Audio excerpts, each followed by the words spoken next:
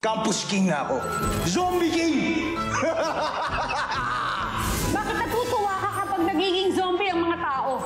Ikaw ang totoong bully.